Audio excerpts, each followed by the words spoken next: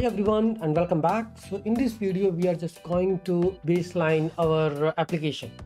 So we are going to baseline with the PNPM uh, workspace and NX monorepo tool and we will see what all things we need, what all services, what all front-end component like what all tools and technologies we are going to use to build a Udemy clone because it's going to use a massive data structure. It's not uh, simplified. You can see we are going to manage these different level of categories and every category will have a subcategory and subcategory will have the courses.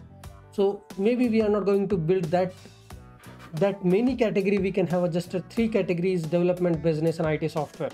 Because for the other categories it is going to work in the same way. And then once we baseline the services and all then we need to define the structure uh, in our uh, rds because we are going to use for small services we which are using just a one table. We can use a mongodb or the prisma. I mean uh, prisma is just orm but we can use a mongodb and for other services which are going to store this complex data structure. We are going to use rds and the orm we can use a type orm uh, and any orm which you can think type orm Sequelize and the prisma. Because it's not simple like to store all this data which is being fed by the admin portal from the admin the content creator who wants to teach at udemy will post the data. Okay this is my course name these are the submodules, modules and these are the video titles right? All these things will be published and these will have multiple categories. So here you can see in the development we have these categories. So these are the random top most uh, uh, subcategories we are going to show like aws certification python javascript.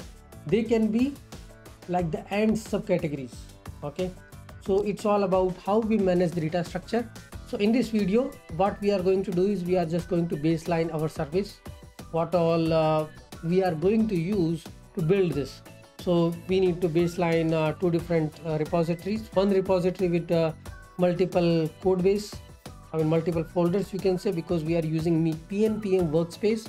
We are going to use end user udemy app udemy dashboard app um, authentication we are going to use uh, Auth0 so we are going to use this uh, course listing. So there is a course microservice where you can actually search for a particular course.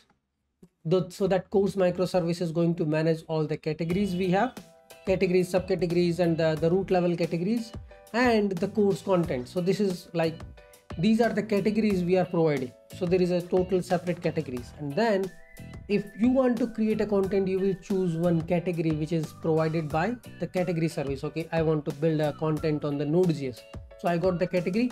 Now i will start uploading my content for this particular category. So there is a content service. Content service it it used to be a cms content management system but we have to store things inside a aws s3 the videos and the, the images and the thumbnails which you are uploading. So there will be a separate microservice which allows uh, the logged in user the content creators to upload things. And then there will be apis to create the content create the modules create the the course sub modules the, the, the upload the video upload the image. All those things will happen through underneath the microservice which we are going to build and the, this particular data structure is little complex and it also challenging for me what i'm going to do is i'm going to just learn things and try to build this as my side project for end-to-end -end learning on some complex things. We are going to use the Next.js and the React, React 18 and Next.js 13 with uh, the, all these advanced tools. We can use uh, Next.js because we already have this Nest.js microservices. So we are not going to use the Next.js API backend. Next.js again going to talk to these Nest.js microservices to fetch the data and give you the data for the admin dashboard because admin dashboard is something which will be used by content creators to upload the content create the courses see all the billing informations like how many purchases they have made and all okay so let's first baseline the repository and make the code available on the github.